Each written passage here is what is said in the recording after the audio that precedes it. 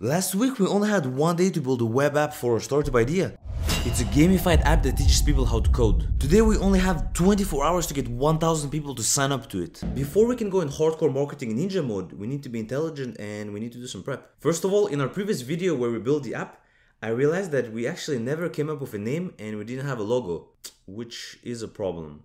We need a cool name because a cool name will help us with marketing. People will want to learn more. I want something heroic, but I also don't want it to be too generic like heroprogrammer.com. I want something a little bit more original. So I spent some time brainstorming and ultimately I landed on The Last Codebender. It's a reference to the super popular cartoon Avatar The Last Airbender. It was one of my favorite cartoons as a kid. Now we need a logo. I like logos that are simple so that it's easy to remember but still unique enough. The logo will just have Last Codebender, so we'll drop the the. And then I want to add some coding elements, we'll, we'll just add brackets and then add a little bit of style and actually, the word last, I don't like it that much when it's there, so we could drop it. Or we can just put it very small there on the edge. Okay, I think that works. What do you guys think? Alright, next obstacle. If we want to market the app, we need some kind of promotional material. I want us to make a badass video demo because the product looks exciting, so I think there is a nice way to show it in a video. The problem though is that we're limited in time and I want us to get to marketing as soon as possible today. Which means we cannot do something that is high production. We'll have to limit ourselves to a homemade style. And for it to work, we need to be creative and we need to be funny. I want to use the opening of Avatar The Last Airbender as a reference. Long ago, the four nations lived together in harmony. Then, everything changed when the Fire Nation attacked.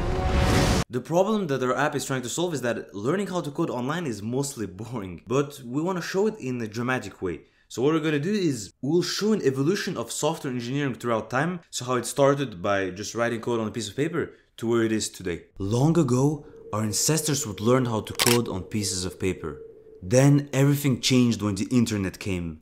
Technology was supposed to be the answer to make education exciting, but when we needed it most, it failed us. Next, we present our solution, which is like a speedrun clip our app. Many years passed, and I've discovered a new way a gamified learning platform called The Last Code Bender. The screen is divided in two. On one side you have the code editor and on the other side you see the game visual. In the first game you're a hero programmer tasked to save your country from the threat of a new virus. Courses are designed so that each challenge you solve in the game actually teaches you a programming concept, from variables to conditional statements to loops and objects. What you see here is a prototype that was built in only one day. And although it's a start, imagine what it could soon become. And at the end, we leave the viewers with a hook and a call to action.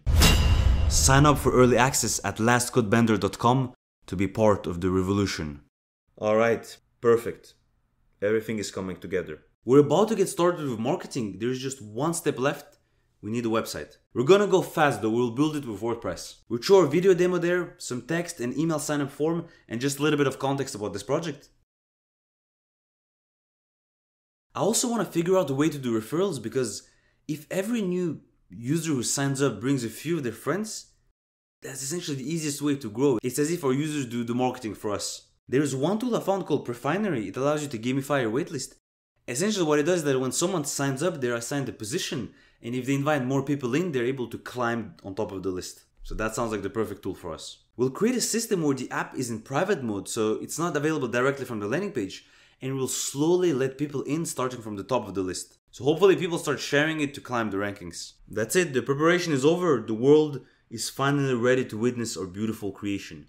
Time for phase 2 of our master plan, Reddit. Reddit is a special place for idea validation and we already have a history there, that's where our idea first went viral. The problem is that Reddit absolutely hates self promotion. Like, if there's any sign that you're trying to promote your own product, it doesn't matter, even if it's useful, even if it brings some value to the community, mods are very harsh on self promotion. So we'll get banned in some subs, that's nearly certain, or, or a post will be taken down, but that's a risk we have to take. Hopefully, if we frame it well and really show that there is value for the community, it will minimize the damage. First place where we're gonna post is r slash learn programming. This is where a post went viral, so it kinda makes sense to start there. For the title, I'm thinking of doing something similar to the post we had. It can just be learning to code online suck so I made a game-like platform to do it differently.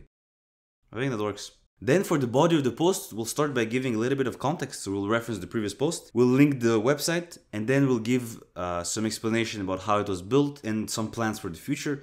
And at the end, we just ask for feedback. Okay, we're ready to post it.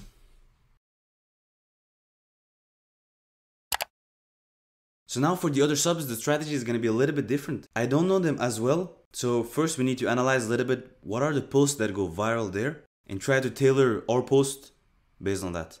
So we'll sort by most popular of all time. There you see that the majority are actually images or memes. And sometimes you see some videos there. I think for us, the best is we have our demo video, so we're gonna just use that instead of using a long text like we had before. Let's try that. We're gonna essentially replicate this process for as many subs as possible. Now we have planted all the seeds, we just need to wait for people to react and post comments. Now in case Reddit doesn't work, we need a backup plan. So time to move to phase 3 of our master plan. Let's go wild. We'll post it everywhere where developers hang out. So a couple of popular places are Indie Hacker, Hacker News, Twitter, and Product Hunt. All of these are free so it doesn't cost us anything. By the way guys, one hour in and we already have 20 signups. Good start. The very last thing we're gonna try in this video is one strategy that I usually don't like using Facebook ads and YouTube ads. The reason I don't like using them is that I believe most of the time you can validate your idea and get your first users for free. So I prefer just doing that. But for the sake of this video, what I want to do is I want to compare the different channels we're using. So Reddit, different blogs where we posted and paid advertisement like Facebook and YouTube and see which channel performed the best. So for Facebook, we're gonna create our page, set up our business manager account. Next, we'll configure our ad set. So essentially, we wanna target anyone from 15 years old to 35 years old they can live anywhere in the world and both genders. So we'll update the location, all of North America. Actually, Asia. Let's put Asia as well. We'll update the age like from 18 to. Let's do from 15 to 35. For interest, we can add something like computer programming. Yeah. Actually, even web development, that's maybe more. What's nice about Facebook is that you can run the same ad on Instagram as well. The ad essentially will just be the demo video we have, and that's it. Same will be for YouTube. And we click on publish. Alright, so we'll have this ad running on Facebook and Instagram. Now we're gonna set up the same ad on YouTube. It's very straightforward, you just pick your video. We'll do one of the skippable ads that appear before YouTube video. We configure it, the country, the interest, the age, and then we launch it. All the work has been done. Reddit, Indie Hacker, Hacker News, Twitter, Product Hunt, Facebook ads, Instagram ads, YouTube ads. All the seeds have been planted. We'll harvest the results in a few days. Will we find a forest when we come back? or will it be a field of dead crops? Stay tuned.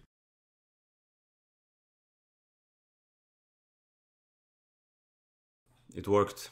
We crossed 1000 signups in the first 22 hours. And the signups kept increasing so I let it run for 2 more days to see how much more we could get. We'll break down the results channel by channel and at the end of the video I'll show you exactly the number of signups we're able to get. First bucket is Reddit, we made 7 posts which got 1462 upvotes and 107 comments. At first I was so happy, everything was going so well. But then 10 hours in, our post in the Learn Programming sub got taken down.